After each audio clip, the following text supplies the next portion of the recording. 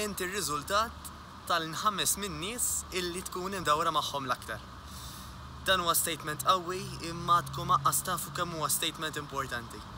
Immaġinaw tagħmluha pereżempju ma' ħames min-nies illi jxorbu għad-doċċ, jieklu għad-doċċ, ma jiċċaqalqux, għażżenin, għalihom li l-għada xogħol mhux importanti, U għiduli, x'ċans għandkom illi intom tadottaw l-istess attitudni? Min-naħa l-oħra hija ngħidu tagħmluha ma' ħames minn nies illi huma jsibu bilanċ, isibu ħin għax-xogħol, ħin għat-tfal, ħin għall-familja, ħin għall-exercise, ħin għall-ikel, ħin għall-irqad, importanti ħafna. Taħsbu illi intom ħa tadottaw l-istess attitudnijiet tagħhom?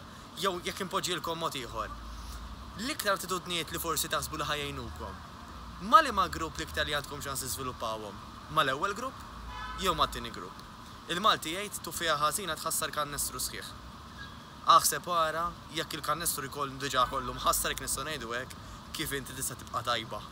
U tajba fis-sens li qed nitkellmu aħna affarijiet għal saħħtek, affarijiet għad-dehra tiegħek, affarijiet għas-suċċess tiegħek, għax kollox huwa llinkjat, ħaġa ġġib l-oħra. Agħżel in-nies li tkun magħhom, għażilhom bil-għaqal, agħżilhom sew, għax id-deċiżjoni f'idejk wara kollox fejn tasal. Niltaqgħu.